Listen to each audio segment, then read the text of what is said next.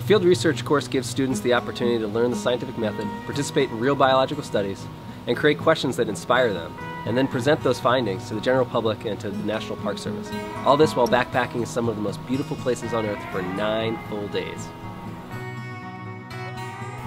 Well, it was really interesting because I got to, for the first time, actually collect data. You know, I do really well in school, and I come out here, I don't know what I'm supposed to do because in school everything's just handed to me, I analyze it, and I'm done. Here, I got to do the work, I got to collect things, I'm really experiencing it, and I think this is the first time I've truly understood the project I was doing instead of just understanding the motions I had to go through.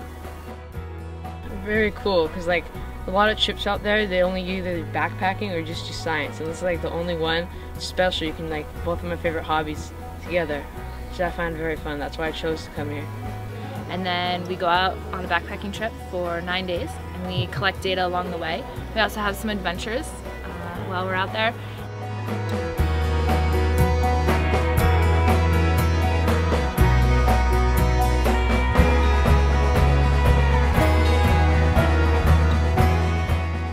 And then we come back, they analyze their data and create a presentation and present that to Park Service. For me, the most inspiring part is seeing them connect to this place and to fall in love with Yosemite uh, based on what they're studying and to, to really hone in on those observations and those patterns that they're seeing to more deeply understand and know this place. I think students get that opportunity and they see the real world applications of science and on top of that they get to experience the wilderness and it's all its beauty and its, its glory.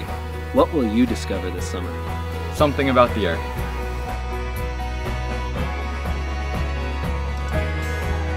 Something about yourself. Something about life.